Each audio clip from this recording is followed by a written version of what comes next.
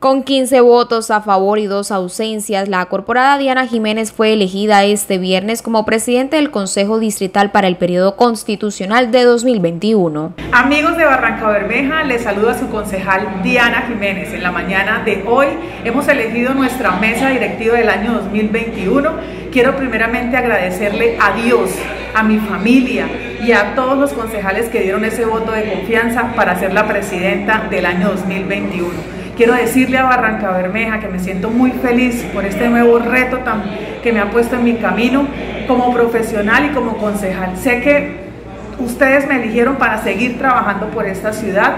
Hoy voy a hacerle un llamado a nuestro alcalde Alfonso El Hash para poder seguir trabajando frente a un tema tan importante que nos está agobiando a toda Barranca Bermeja y es la pandemia y es ese COVID-19. También hacerle la invitación a los 17 concejales para que trabajemos en equipo y unidos por toda nuestra ciudad.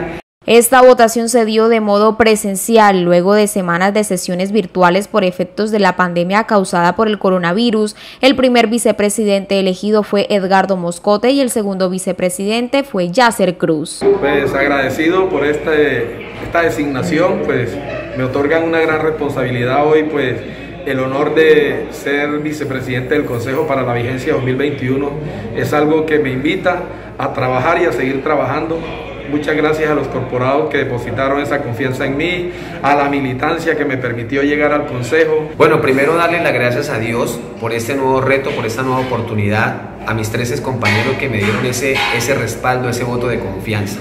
Seguiremos trabajando por esta ciudad, seguiremos dejando huella como segundo vicepresidente. Tenemos un reto muy grande con la presidenta Diana Jiménez, con el primer vicepresidente Edgardo El Mono Moscote. Eh, queremos trabajar por esta ciudad soy un concejal de oposición, seremos oposición a las cosas que no beneficien a Barranca Bermeja. El concejal Jonathan Vázquez se excusó alegando que se había hecho la prueba COVID este viernes y estaba a la espera de los resultados y el corporado Leonardo González Campero se retiró alegando que no se cumplían los protocolos de bioseguridad en el recinto.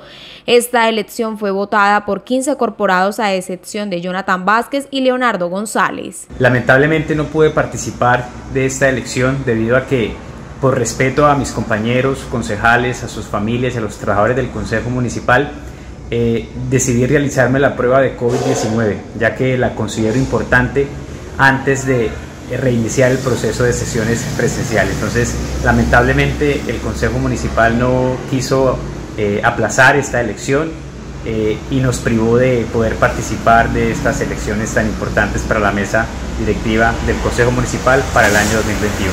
La próxima presidente de la Corporación Edilicia, Diana Jiménez, agradeció a sus colegas la elección anticipada como presidente 2021.